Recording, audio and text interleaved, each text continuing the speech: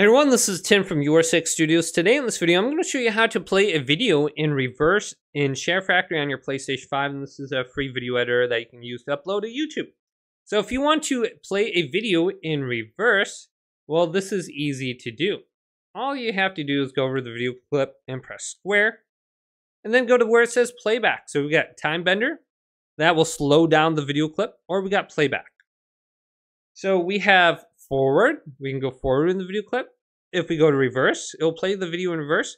And then we have rebound. Play the entire clip forward and then at the end immediately play the clip in reverse.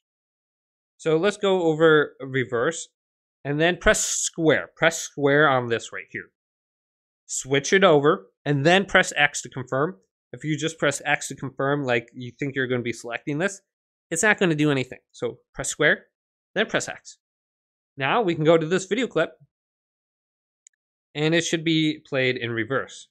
So I'm going backwards now. I'm getting less kills with my uh, kill streak. And then the next video clip is playing forward. Otherwise, you can go to, uh, what is that one? Rebound. Let's go to rebound. I've never done that one before. Press X on this now after press the square. It's going to pretty much double the length of the video clip. So I got 11 and then I'm going back. So that's kind of cool. So we could do like a rebound. And then just maybe if we're doing like some sort of montage, this could be cool. Uh, we go to uh, split. Where's, oh, you can't split the clip. That kind of stinks. So you're not really able to edit it after the fact. So we can maybe do, uh, we can maybe clone the clip. Can we clone the clip? And then split it? Darn it, we can't. But we can trim the clip. So that's an option if we want to remove a section.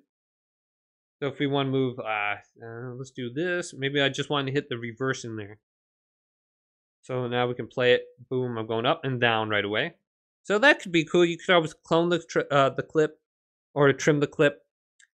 So yeah, so it's very easy. Add like a reverse to it, and you can always go back to forward if you ever want.